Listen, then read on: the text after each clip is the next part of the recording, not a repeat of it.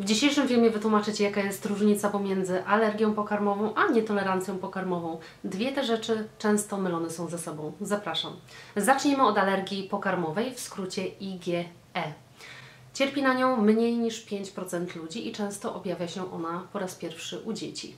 Jeśli chodzi o alergie pokarmowe, to często jest to reakcja na jeden lub dwa produkty. Reakcja również następuje od kilku sekund do maksymalnie dwóch godzin.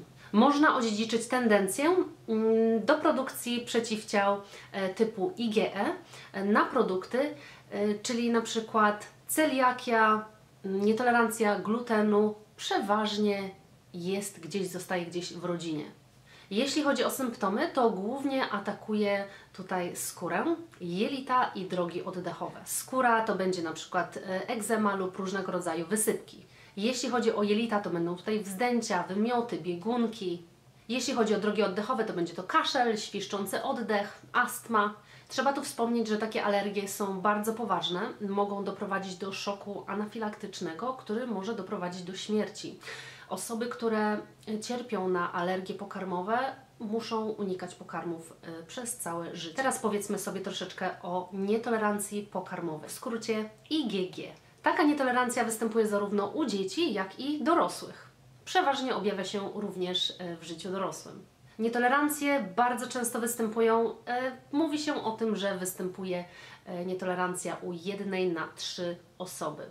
E, przeważnie jest to od 3 do 10 produktów, także widzimy tutaj różnicę, tam były od 1 do 2 produktów, tutaj mamy od 3 do 10. Zwykle, gdy dorośli cierpią na różnego rodzaju stany przewlekłe, które nie reagują na różnego rodzaju leki, możemy w tym momencie podejrzewać właśnie nietolerancje pokarmowe. Jeśli chodzi o nietolerancje pokarmowe i reakcje, tutaj reakcja występuje od 2 aż do 72 godzin.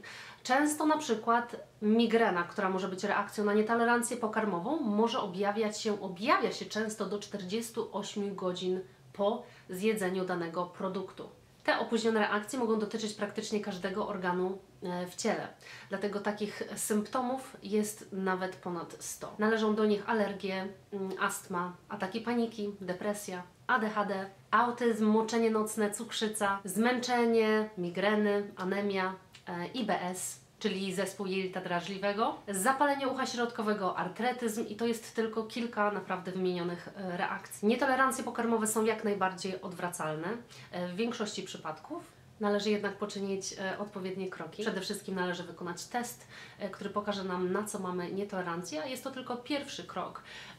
Następnie warto zadbać o zdrowie naszego jelita, e, zaleczyć to jelito mm, i taką nietolerancję możemy odwrócić. Jeśli chodzi o alergie, są one na całe życie.